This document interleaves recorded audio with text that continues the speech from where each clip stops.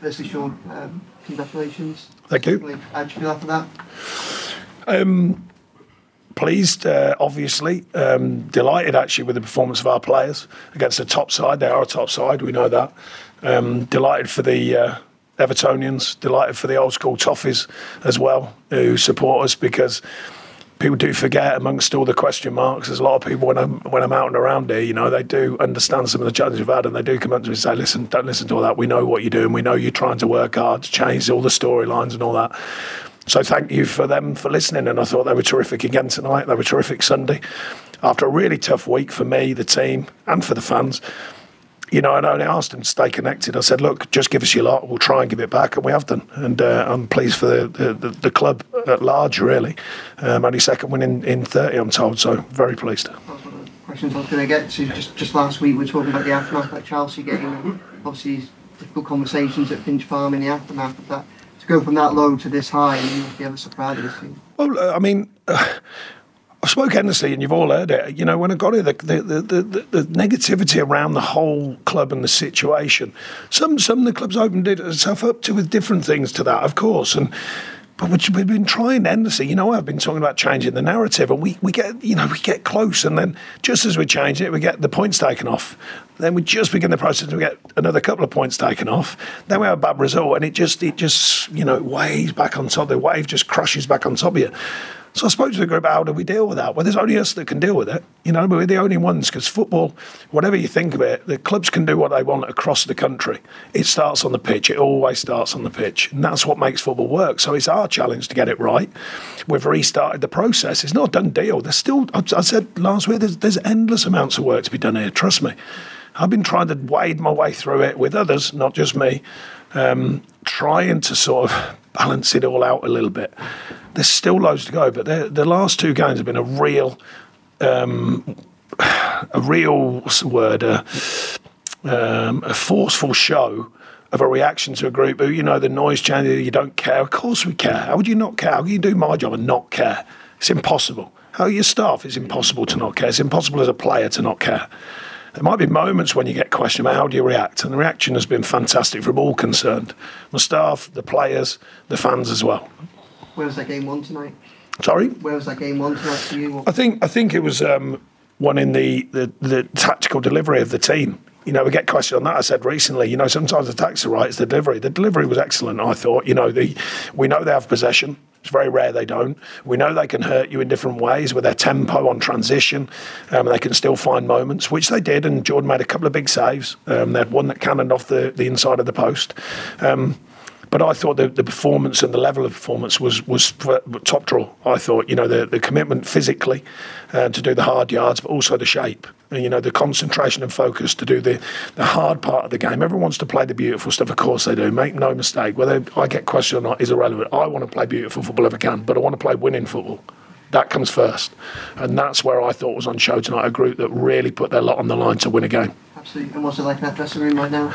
Yeah, really pleased. Um, you know, the biggest challenge of all, I, I commended them obviously, um, not just into you know the reaction rather than just tonight. I mean, it means a lot to the, the club and the people who work here and the fans, of course. Um, but not just that, but the, the, the reaction to recent news, the reaction from a group of people who say, right, come on, let's get our nose pointed in the right direction, all of us. We spoke about it endlessly, said, anyone's not on board, come and see me, no one can see me. And I remind them of that. I said, well, that's a good sign. And they've gone and delivered tonight. But the next challenge, as I've just said to them, can we go and do it again then? I said, that's the next challenge. I said, it doesn't stop just because this big result. So I said, we come in tomorrow, we get ready, and we go again, and that'll be the challenge. So the Saturday comes around, we're ready to go again. Sean. How good was uh, Dominic tonight? Yeah, first class. Um, I said to him afterwards that that sort of performance, if you can get that consistency of that performance, that's what gets people talking about you. That's what gets you around that England team again, um, because that's a first class performance against top top players, top side. Um, the hold up play, the the controlled aggression to his play, the commitment to get hold of the ball and fight for it, but also his finishing. I mean, I love the one. Um, I think Jarrad gets it in the end, doesn't he? But he's sprinting on the line to just toe it in. I love that. That's what you want from strikers. You want them to be hungry to score goals. So that's a sign when he's on top. That's a sign for me when he's active. Um, you know, going in there on a maybe, can he just get it over the line? I love that. And then his header is, is a fantastic header and a great set piece as well. And Jordan the right in the morning. Yeah, particularly the first half. Second half, just some control, good hands. Um, but, but but the first half, I thought you know two very important saves and you know rare breaches of our defence. I thought the defensive unit from the front to the back. By the way, I don't, I don't just mean the back sort of five with the goalie. I thought that was excellent. The commitment, the midfield, the pressing, recovering. You know all the hard yards um, was intact, and I thought it was a very very good for Young as well coming. on. I think it was a really tough one to come on into. I thought he was excellent second half without a doubt. And fans looked like they were enjoying the last 10 minutes. Were you able to enjoy it as well? Ah, that's a different kind of enjoyment. I don't get too excited about these things. It's, this is for the people. Well, you know, 10 days ago, people are telling me I don't know what I'm doing. 10 days later, they say, You do know what you're doing, then that's my job. That's the way it goes, you know. So I internally enjoy it, though. Make no mistake, I internally enjoy nights like tonight, but it's this one's definitely for the club and for the fans, without a doubt.